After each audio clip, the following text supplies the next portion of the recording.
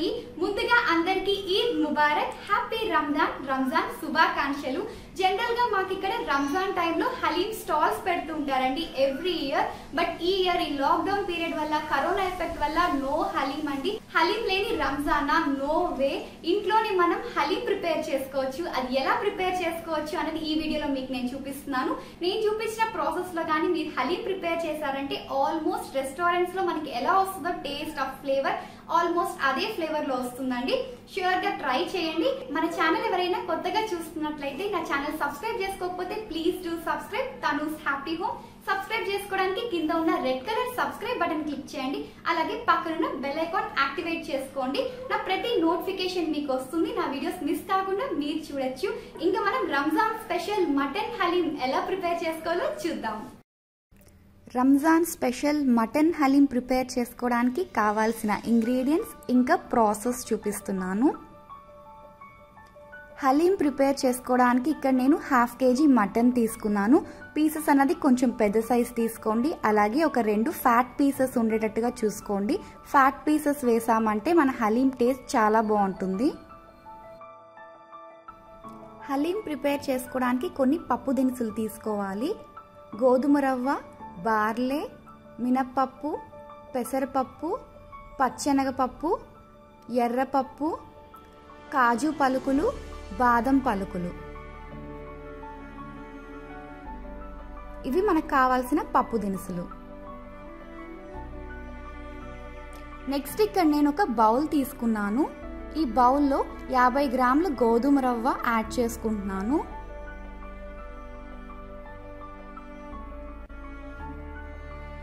ఇదే బౌల్లో ఇందాక మనం తీసుకున్న పప్పు దినుసులన్నీ కూడా యాడ్ చేసుకోవాలి. నెక్స్ట్ దీనిలో నేను రెండు టేబుల్ స్పూన్లు బార్లీ యాడ్ చేస్తున్నాను.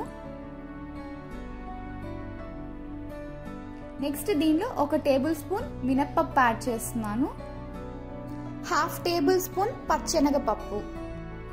నెక్స్ట్ దీనిలో ఒక హాఫ్ టేబుల్ స్పూన్ పెసరపప్పు యాడ్ చేస్తున్నాను. నెక్స్ట్ దీనిలో నేను ఒక హాఫ్ టేబుల్ స్పూన్ ఎర్రపప్పు యాడ్ చేస్తున్నాను. నెక్స్ట్ దీనిలో నేను నాలుగు బాదం పప్పు పలుకులు నాలుగు జీడిపప్పు పలుకులు యాడ్ చేస్తున్నాను. మనం తీసుకున్న పప్పు దినుసులన్నీ యాడ్ చేసుకున్నాక ఈ పప్పు దినుసులు మునిగే వరకు నీళ్ళు పోసుకోవాలి.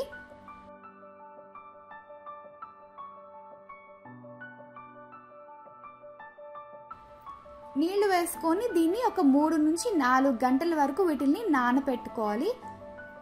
నెక్స్ట్ స్టెప్ మనం మటన్ని మ్యారినేట్ చేసుకోవాలి.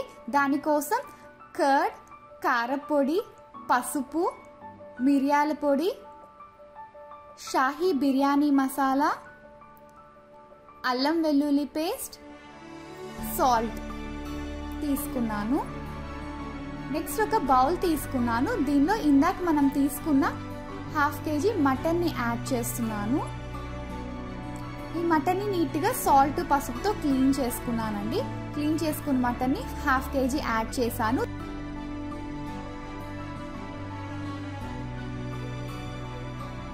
దీనిలో నేను హాఫ్ కప్ కర్డ్ యాడ్ చేస్తున్నాను. ఆల్మోస్ట్ హండ్రెడ్ గ్రామ్స్ అండి. హండ్రెడ్ గ్రామ్స్ కర్డ్ యాడ్ చేశాను. Next one spoon salt add చేస్తున్నాను. నెక్స్ట్ హాఫ్ స్పూన్ కారపొడి యాడ్ చేస్తున్నాను. నెక్స్ట్ పావు స్పూన్ పసుపు యాడ్ చేస్తున్నాను. Next half spoon Everest Shahi biryani masala add చేస్తున్నాను. ఇన్ కేస్ మీ దగ్గర ఇది లేకపోతే గరం మసాలా కూడా యాడ్ చేసుకోవచ్చు. నెక్స్ట్ హాఫ్ స్పూన్ మిరియాల పొడి యాడ్ చేస్తున్నాను. నెక్స్ట్ దీనిలో నేను ఒక టూ స్పూన్స్ అల్లం వెల్లుల్లి పేస్ట్ యాడ్ చేశాను. ఇవన్నీ యాడ్ చేశాక బాగా మిక్స్ చేయాలి. అలాగే దీనిలో ఒక స్పూన్ లెమన్ జ్యూస్ కూడా యాడ్ చేసుకోండి. నేను లెమన్ జ్యూస్ యాడ్ చేసే క్లిప్ మిస్ అయింది. సారీ దీనిలో ఒక స్పూన్ లెమన్ జ్యూస్ యాడ్ చేసుకోండి. యాడ్ చేసుకున్నాక దీన్ని బాగా మిక్స్ చేసుకోండి. మిక్స్ చేసుకున్న మటన్ని ఒక వన్ అవర్ మ్యారినేట్ చేసుకోవాలి. ఫ్రీజర్లో పెట్టండి. ఒక వన్ అవర్ ఇన్ కేస్ మీరు ఫ్రీజర్లో పెట్టలేకపోతే అట్లీస్ట్ బయటన ఒక హాఫ్ అన్ అవర్ ఉంచండి. ఇలా మ్యారినేట్ చేసామంటే మటన్కి మసాలా అంతా బాగా పడుతుంది. మన హలీం అనేది చాలా టేస్టీగా ఉంటుంది. నెక్స్ట్ స్టెప్ మనం నానబెట్టుకున్న పప్పు దినుసులంతా నానిపోయాయండి. ఫోర్ అవర్స్ బాగా సోక్ అయ్యాయి. ఈ సోక్ అయిన ఈ పప్పు దినుసులంతా మనం ఒక త్రీ టైమ్స్ నీట్గా వాష్ చేసుకోవాలి. ఇదిగోండి వీటిని నీట్గా వాష్ చేసుకున్నాను. చూస్తున్నారు కదా మనం యాడ్ చేసుకున్న పప్పు దినుసులంతా కూడా బాగా నానిపోయాయి. నెక్స్ట్ ఇప్పుడు నేను ఒక కుక్కర్ తీసుకున్నాను.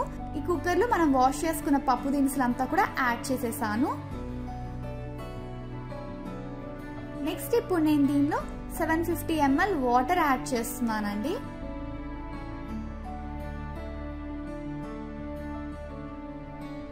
వాటర్ యాడ్ చేసుకున్నాక దీన్ని నేను స్టవ్ మీద పెట్టుకున్నాను.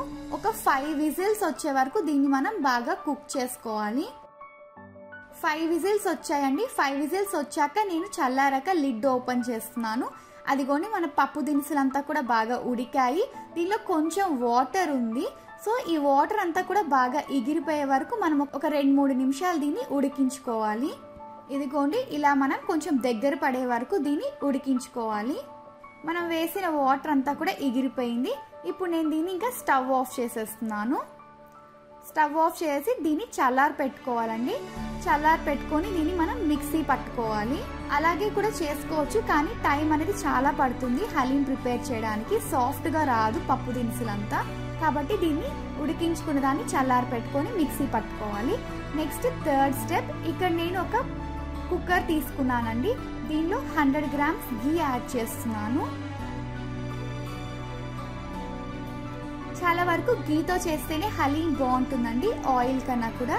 కాబట్టి గీయే యాడ్ చేసుకోవడానికి చూడండి. నెక్స్ట్ దీనిలో నేను స్పైసెస్ యాడ్ చేస్తున్నాను. హాఫ్ స్పూన్ మిరియాలు హాఫ్ స్పూన్ షాజీరా ఒక మూడు లవంగాలు ఒక రెండు అంగుళాల చెక్క ఒక మూడు ఇలాచి. ఈ స్పైసెస్ అంతా కూడా ఈ గీలో యాడ్ చేసేస్తున్నాను. ఈ స్పైసెస్ అంతా మంచిగా ఫ్రై అవ్వాలి.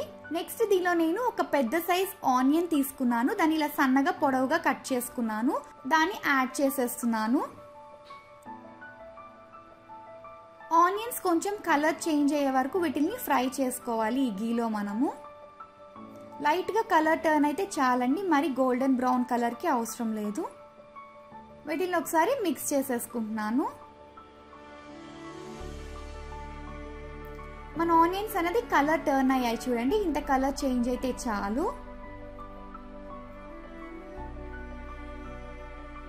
నెక్స్ట్ ఇప్పుడు నేను దీనిలో ఇందాక మనం మ్యారినేట్ చేసుకున్న మటన్ని యాడ్ చేస్తున్నాను.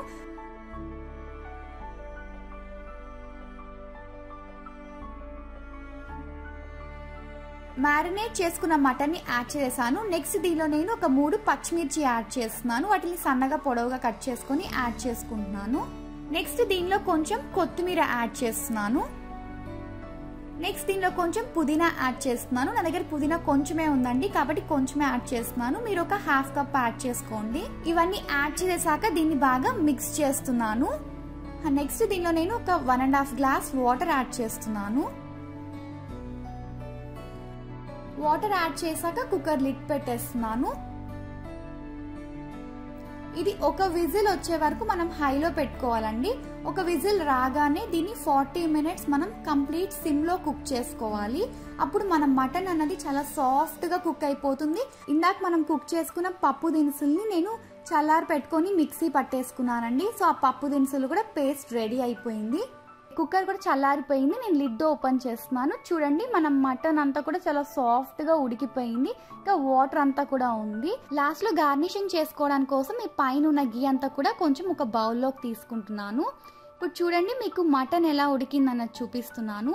ఇక్కడ ఒక పీస్ తీసి చూపిస్తున్నాను మీకు. ఇలా ఫోర్క్తో మనం అలా ప్రెస్ చేస్తేనే మనకి మటన్ అంతా కూడా చూడండి సాఫ్ట్గా అయిపోతుంది స్మాష్ అయిపోతుంది.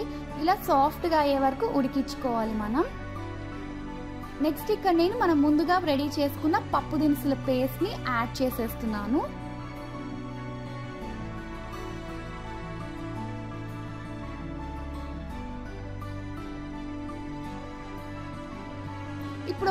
పప్పు గుత్తు తీసుకున్నానండి. చూస్తున్నారు కదా ఇలా ఒక పప్పు గుత్తు తీసుకోవాలి.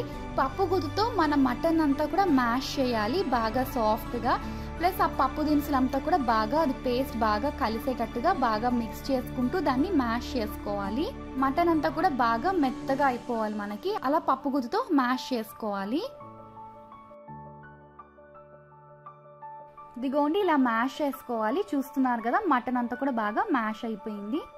నెక్స్ట్ ఇప్పుడు నేను దీనిలో ఒక టూ స్పూన్స్ గీ యాడ్ చేస్తున్నాను. అలాగే ఒక ఆనియన్ని మంచిగా ఇలా గోల్డెన్ బ్రౌన్ కలర్లో ఫ్రై చేసుకున్నాను. దానిలో ఒక హాఫ్ ఆనియన్ యాడ్ చేస్తున్నాను. అలాగే కొంచెం పుదీనా కొత్తిమీర యాడ్ చేస్తున్నాను. నెక్స్ట్ ఒక పావు స్పూన్ మిరియాల పొడి యాడ్ చేస్తున్నాను. నెక్స్ట్ పావు spoon Everest Shahi biryani masala add చేస్తున్నాను. మీరు గరం మసాలా కూడా యాడ్ చేసుకోవచ్చు. దీన్ని ఇప్పుడు స్టవ్ మీద పెట్టేసుకున్నానండి. ఒకసారి బాగా మిక్స్ చేసేస్తున్నాను. ఇవి యాడ్ చేసినంతా కూడా. ఇవన్నీ యాడ్ చేసేసుకున్నాక బాగా మిక్స్ చేసేసుకున్నాను. ఇప్పుడు స్టవ్ వెలిగించుకొని పప్పు గుత్తితో దీన్ని బాగా మిక్స్ చేసుకోవాలండి. ఇప్పుడు నేను చూపిస్తున్నట్టుగా దీన్ని మ్యాష్ చేస్తూ బాగా కలపాలి అలా తిప్పుతూ కలపాలి. అప్పుడే మనకి ఆ హలీం టెక్స్చర్ వస్తుంది. ఇది చిక్కబడే వరకు మనం ఒక ఫిఫ్టీన్ టు ట్వంటీ మినిట్స్ వరకు ఇలాగే మిక్స్ చేస్తూ రావాలి. మెయిన్ ఇదే అండి మన హలీంకి అలా మంచి టెక్స్చర్ రావడానికి మెయిన్ ఇలాగే చేయాలి మనం. ఒక ఫిఫ్టీన్ టు ట్వంటీ మినిట్స్ వరకు దీన్ని ఇలాగే పప్పు గుత్తు మనం కలుపుతూ ఉండాలి. మ్యాష్ చేస్తున్నట్టుగా కలుపుతూ ఉండాలి. అలా కలుపుతూ ఉంటే మనకు ఆ టెక్స్చర్ వస్తుంది. మనం చాలా వరకు రెస్టారెంట్స్లో అలా కానీ మీరు చూసారంటే వాళ్ళు పెద్ద పెద్ద బాండీలో గెరట పెట్టుకొని కలుపుతూ ఉంటారు. ఇదిగోండి ఇక్కడ ఆల్మోస్ట్ మన హలీం అన్నది రెడీ అయిపోతుంది. చూస్తున్నారు కదా ఇందాకటికి ఇప్పటికి చిక్కబడింది హలీం అన్నది. ప్లస్ టెక్స్చర్ కూడా చూడండి చేంజ్ అవుతుంది. అలా తిప్పుతూ ఉండడం వల్ల మనకు ఆ హలీం టెక్స్చర్ వస్తుంది. అదిగోండి ఆల్మోస్ట్ మన హలీం అన్నది రెడీ అయిపోయింది. చూస్తున్నారు కదా ఇంకా నేను స్టవ్ ఆఫ్ చేసేస్తాను. ఒక టూ మినిట్స్ ఇలా మిక్స్ చేసి ఇంకా నేను స్టవ్ ఆఫ్ చేసేస్తాను. మన హలీం రెడీ అయిపోయిందండి. దీన్ని నేను ఒక సర్వింగ్ బౌల్లోకి తీసుకుంటున్నాను.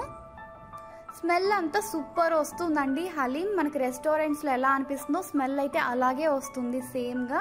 స్మెల్ అయితే సూపర్ వస్తుంది. మన హలీంని సర్వింగ్ బౌల్లోకి తీసేసుకుంటున్నాను.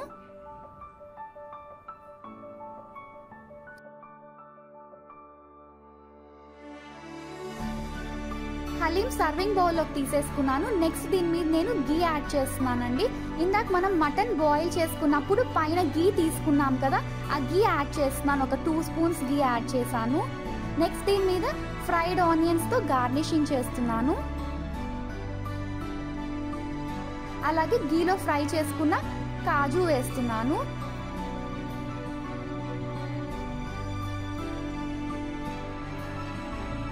దీని మీద నేను కొంచెం కొత్తిమీర పుదీనాతో గార్నిషింగ్ చేశాను.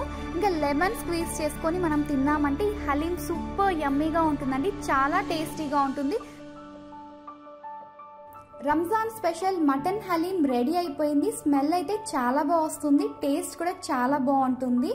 ఈ సూపర్ యమ్మీ మటన్ హలీం షూర్గా ట్రై చేయండి. ఐ హోప్ ఈ రెసిపీ మీకు నచ్చింది అనుకుంటున్నాను రంజాన్ స్పెషల్ మటన్ హలీం ఎలా ప్రిపేర్ చేసుకోవాలో చూసారు కదండి. ఐ హోప్ ఈ రెసిపీ మీకు నచ్చింది అనుకుంటున్నాను నచ్చితే షూర్గా లైక్ చేయండి. మీ ఫ్రెండ్స్ అండ్ ఫ్యామిలీ మెంబర్స్తో షేర్ చేసుకోవడం మాత్రం అస్సలు మర్చిపోకండి. అలాగే మీకు ఏమైనా డౌట్స్ ఉంటే ఈ రెసిపీ గురించి కింద కామెంట్ బాక్స్లో కామెంట్ చేయండి. మీ కామెంట్స్ అన్నిటికీ నేను షూర్గా రిప్లై ఇస్తాను. మళ్ళీ మళ్ళీ నెక్స్ట్ వీడియోలో కలుస్తాను. Until then bye